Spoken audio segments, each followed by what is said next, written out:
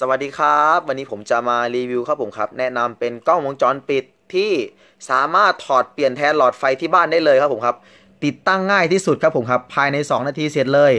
นี่ครับเป็นเกลียวหมุนเข้าไปแทนหลอดไฟที่อยู่บนเพดานบ้านเราเลยนี่ครับผมชึบหลอดไฟอย่างนี้เลยที่เป็นหลอดไฟลุมเนาะเราก็ถอดออกเปลี่ยนได้เลยครับผมครับ ใช้งานได้แล้วครับผมครับ เชื่อมต่อ Wi-Fi ครับผมครับที่บ้านมี Wi-Fi ก็ดูออนไลน์ได้มือในมือถือได้ทั่วโลกเลย เรามาลองดูหน้าตากันหน่อย มือถือได้ทุกรุ่นทุกระบบเลยครับไม่ว่าจะเป็น iPhone หรือว่า Android ครับผมครับอ่าดูผ่านแอปครับโหลดฟรีนี่ครับผมอ่าแอปมีให้โหลดฟรีใน App Store Play Store ครับผมมีคลิปวิดีโอสอนว่าไม่ยากเดี๋ยวมาลองดูกันหน่อย หน้าตากันอย่างนี้ฟึบความละเอียด 2 ล้านพิกเซลครับผมครับ นี่ชัดอย่างนี้เลย นี่ครับ ชัดอย่างนี้เลยเนาะเนี่ยครับอ่าห้องขนาด 40 ตารางเมตรนี่มองเห็นหมดเลยนะครับอ่าบางคนกำลังสงสัยว่าแล้วกล้องมันอยู่ไหนเนี่ยนี่ครับผมผมเอามาติด อ่าตรงโคมไฟครับผมโคมไฟอ่านหนังสือแล้วนี่แหละอ่าเอามารีวิวให้ดูนะครับผมครับอ่าเรามาลองดูกันอ่าหน้าจอมันทำอะไรได้บ้างครับผมครับอ่ามันสามารถเรียกดูผ่านแบบไหนก็ได้เนาะนี่ครับผมครับคลิกแล้วก็เปิดดูอย่างนี้เลยอ่ามี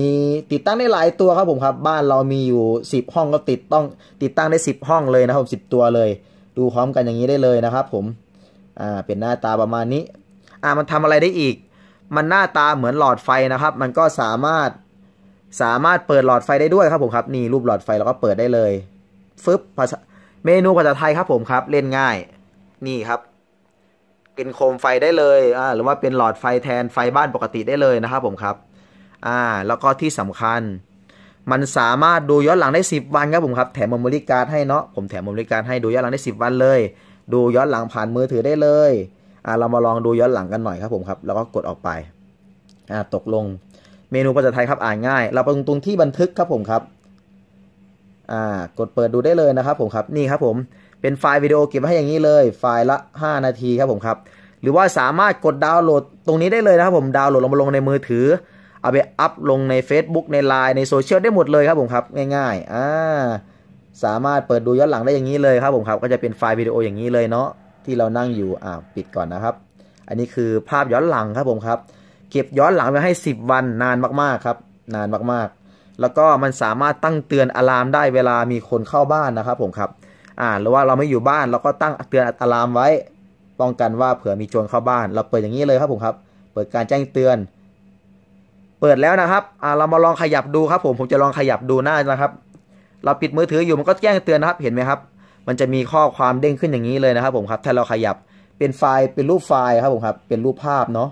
เป็นรูปภาพนี่ครับ ก็จะเห็นโจรกำลังเข้าบ้านอย่างนี้เลยนะครับผมครับ สุดยอดมากๆ ตั้งแจ้งเตือนได้ แล้วก็อ่าเดี๋ยวเราเรามาลองปิดก่อนนะครับ เพราะมันจะแจ้งเตือนตลอด อ่า ตรงอะลามนี้เราก็เลือกปิดเลยนะครับ นี่ครับ สมมติว่าเราเราอยู่บ้านเราก็ปิดไว้ เดี๋ยวมันจะฟ้องมาที่มือถือเราเยอะเกินไป อ่า เรามาลองดูเมนูกันหน่อยทำอะไรได้อีกนะครับผมครับ อ่า เมื่อกี้ลืมบอกไป มันสามารถพูดคุยผ่านกล้องได้นะครับผมครับ เนี่ยครับ เมนูรูปรูปไม้ตรงนี้นะครับ อ่า ตรงนี้นะครับ แล้วก็พูดผ่านกล้องมาได้เลยนะครับ ผม อ่า มันอยู่ มันอยู่ใกล้กันนะครับ มันก็เลยจะสะท้อน อ่าผมปิดก่อนนะครับ อ่า แล้วก็ฟังอย่างเดียวก็ได้ นี่ครับ รูปลำโพงปิดได้ครับ ผมครับ หรือเราจะฟังเขาอย่างเดียวเราไม่ต้องพูดกับเขาก็ได้ครับ ผมครับ อ่า มันสะท้อนนะครับเพราะมันอยู่ใกล้นะครับ ผมครับ เมื่อกี้ เราตั้งเตือนอะลามไว้แล้วครับผมครับ มันสามารถให้อะลามเป็นวอออกทิกตัวกล้องได้เลยอ่าผมจะลองดูนะครับอ่าเราหยุดเล่นก่อนเราเปิดอะลามตรงนี้นะครับ เปิดฟึบอ่าเปิดแล้วอ่าเปิดก่อนนะครับอ่าตั้งแจ้งเตือนเสร็จแล้วนะครับ ตอนนี้พอเราเราขยับมันก็จะมีข้อความขึ้น เราให้มันร้องที่ตัวกล้องได้เลยนะครับ ผมครับ เห็นรูปกระดิ่งตรงนี้ไหมครับอ่าผมจะลองเปิดสัญญาณเสียงนะครับ เมนูภาษาไทยครับ อ่านง่ายมากๆ อ่าสมมติว่ามีโจรเข้าบ้านครับ ขยับตัวหน่อย อ่า ขยับนะครับ เห็นไหมครับ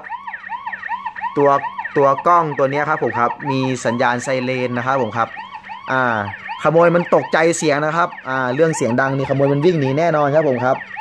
สุดยอดมากๆครับ ผม อ่าปิดก่อนนะครับ ปิดก่อนนะครับ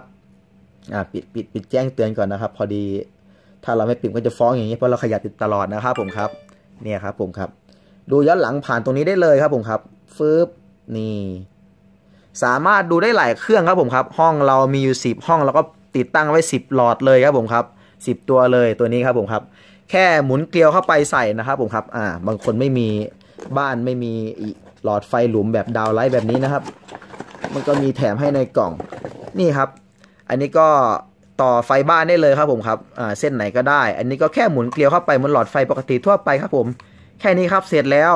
ง่ายมากๆ ตัวกล้องก็เชื่อมต่อ Wi-Fi บ้านครับผมครับอ่ามีคลิปวิดีโอสอนเนาะไม่ต้องตกใจอ่าติดตั้งง่ายครับ 2 นาทีเสร็จแอปโหลดฟรีครับผมครับอ่าเดี๋ยวมีคลิปวิดีโอสอนให้อีกคลิปหนึ่งนะครับผมครับ ง่ายมากๆ ติดตั้งได้ไม่จำกัด แล้วก็ดูผ่านมือถือได้หลายเครื่องไม่จำกัดครับผมครับความปลอดภัยสูงมากๆ บางคนอยากจะมาดูบางทีเราติดในห้องนอน กลัวจะ เจอภาพลับ อันนี้ดูไม่ได้นะครับผมครับ เพราะว่ามันสามารถตั้งตั้งอนุญาตได้นะครับผมครับ ถึงเขาจะมี username หรือว่า password ก็ไม่สามารถเข้าได้ถ้าเราไม่อนุญาตครับผมครับ นี่ครับผมมันสามารถตั้งอนุญาตได้ครับผมครับ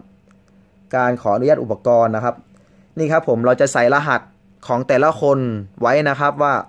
อนุญาตให้มือถือเครื่องนี้เข้าได้หรือไม่ได้ครับผมครับ มันก็จะใส่กรอกตรงนี้ โดยที่เราเป็นคนสั่งคนเดียว ง่ายมากๆ อันนี้มีคลิปวิดีโอสอนไม่ต้องตกใจครับผมครับ ใช้ง่าย อ่า อันนี้แจ้งถึงเรื่องความปลอดภัยให้ดูนะครับ ไม่มีภาพหลุดแน่นอน ถ้าเราไม่อนุญาตให้เขาเข้ามาดูนะครับผม ถึงเขาจะมี username password ก็ไม่สามารถเข้าได้ ถ้าเราไม่อนุญาต ถ้าเราเป็นเครื่องแรกนะครับ เดี๋ยวผมจะมีคลิปวิดีโอสอนติดตั้งให้อีกทีนึง ตัวนี้รับประกันให้ 1 ปีครับผมครับ มีปัญหาเปลี่ยนตัวใหม่ให้เลยครับผมครับ อ่า สินค้าทุกตัวมีรับประกัน เปลี่ยนตัวใหม่ให้เลยภายใน 1 ปีครับผมครับ สุดยอดมากๆ สนใจพิมพ์ชื่อที่อยู่เบอร์โทร ส่งเก็บเงินปลายทางที่บ้านครับผมครับ ชื่อที่อยู่เบอร์โทร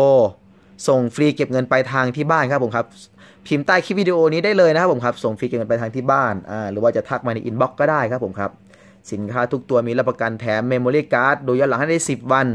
อ่า หากล้องเทพๆอย่างนี้ไม่ได้อีกแล้วนะครับผมครับ เป็นกล้องที่ดู 360 องศาพาโนรามาแบบนี้เลย ขอบพระคุณมากครับ สวัสดีครับ